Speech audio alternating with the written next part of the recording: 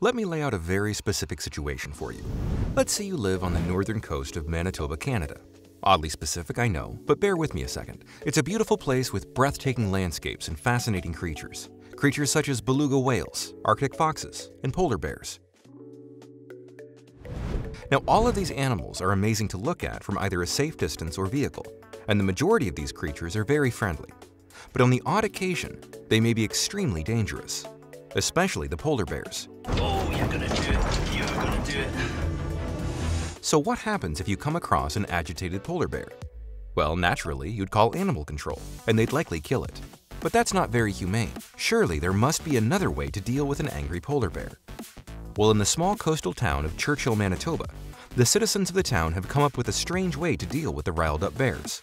They essentially arrest them and throw them in jail, like they'd just been caught stealing a car or robbing a bank. You see, during the summer and autumn months, thousands of polar bears trek to the coasts from inland Canada, ending up along the shores of Hudson Bay. For the last so many thousands of years, this hasn't been too much of a problem, as this area of Manitoba is quite remote, with only a few small settlements of indigenous Canadian people living there. But when French and Danish explorers set up camps there in the late 18th century, things began to go awry.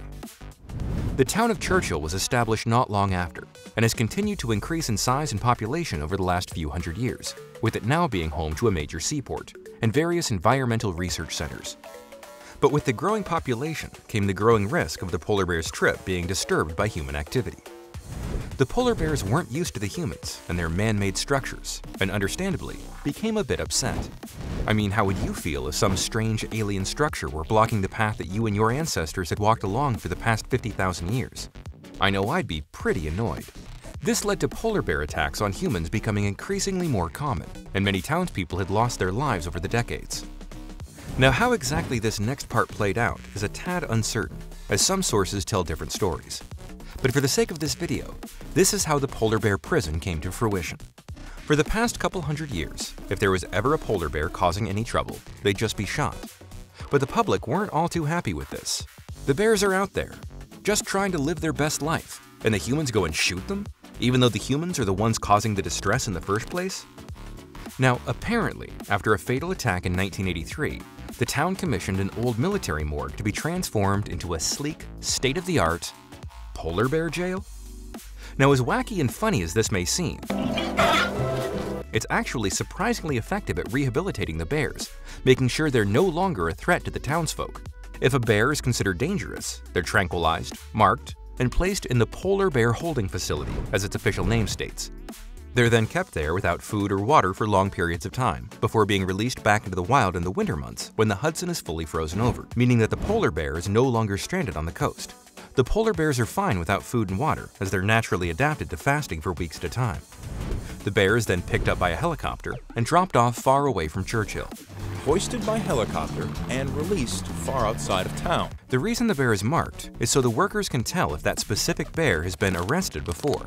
If they have, it could lead to an extended sentence.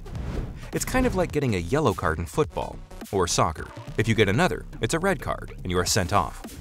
Or like getting points on a driver's license. Too many points, and you get your license taken away. The jail itself is actually pretty huge.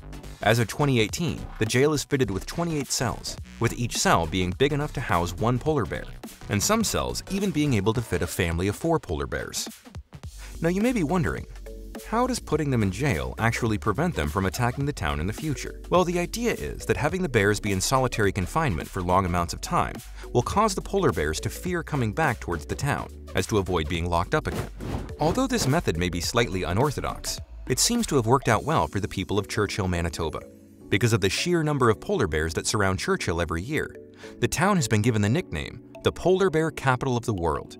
This has led to a big tourist boom in the area, and with the polar bear jail, these tourists can rest easy, knowing that the delinquent polar bears, Canada's most wanted, are behind bars.